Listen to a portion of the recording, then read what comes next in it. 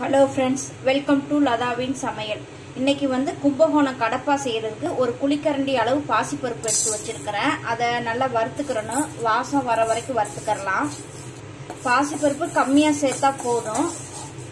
நல்லா வாசனை வர வரைக்கும் வறுத்தாச்சு. இப்போ எடுத்து வச்சிடலாம். வறுத்த பாசிப்பருப்பை ஒரு குக்கரில் சேர்த்துக்கிட்டு ஒரு உருளைக்கிழங்க தோல் சீவி கட் பண்ணி வச்சுருக்கேன். அதையும் சேர்த்துக்கிறணும்.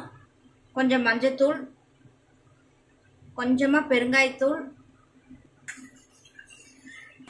இப்போ குக்கரை மூடி வச்சு அஞ்சு விசில் வச்சுக்கிறணும் நல்லா குழஞ்சு வரணும். இப்போ தேங்காய் மசாலா அரைக்கிறதுக்கு கொஞ்சம் தேங்காய் மூணு பச்சை மிளகா. இந்த இதுதான் காரம் இதுக்கு. கொஞ்சமாக இஞ்சி ரெண்டு பூண்டு பல் ஒரு ஸ்பூன் பொட்டுக்கல்ல ஒரு பட்டை ஒரு கிராம்பு ஒரு ஸ்பூன் சோம்பு. தண்ணி ஊற்றி நல்லா வலுவலுன்னு அரைச்சிட்டு வந்துடலாம். கசகசா இருந்தால் கொஞ்சம் சேர்த்துக்கோங்க. தண்ணி ஊற்றி அரைச்சிட்டு வந்தாச்சு. இப்போ தாளித்து விட்டுக்கரலாம் ஒரு வடைச்சட்டியை அடுப்பில் வச்சு எண்ணெய் ஊற்றி கடுகு உளுந்து சேர்த்துருக்குறேன். கடுகு வெடிச்சதும் ஒரு வரமிளகா கொஞ்சம் கருவேப்பிலை ஒரு பெரிய வெங்காயம். அதையும் நல்லா வதக்கிக்கிறணும்.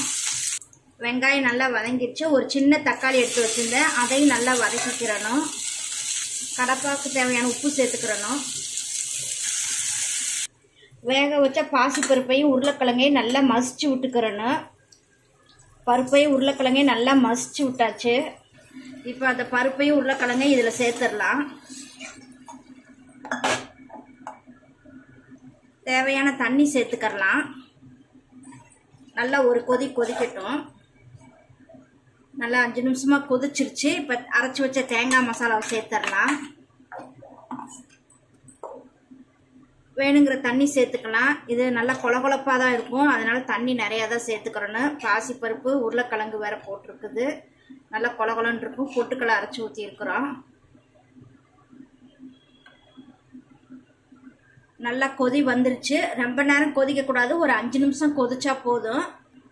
கும்பகோணம் கடப்பா ரெடி ஆயிடுச்சு இது இட்லிக்கு தோசைக்கு சப்பாத்திக்கு பூரிக்கெல்லாம் ரொம்ப டேஸ்ட்டாக இருக்கும். மல்லித்தலையை போட்டு இறக்கி வச்சிடலாம் இந்த வீடியோ பார்த்துட்டு அப்படியேவும் சப்ஸ்கிரைப் பண்ணிக்கோங்க. தேங்க்யூ